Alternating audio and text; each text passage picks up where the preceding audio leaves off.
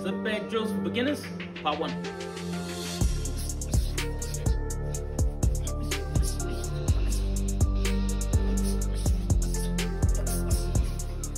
So keep your knees bent, keep your feet planted, and you want the slip bag to be lined up right with your forehead.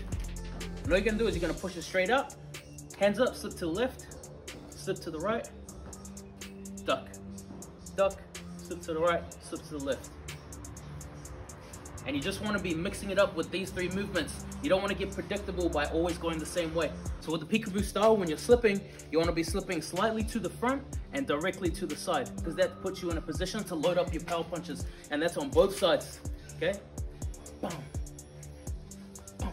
You don't wanna be going backwards. Once you get used to that, you're gonna start double slipping. So you're gonna go like this, left, right, down, right, left, right,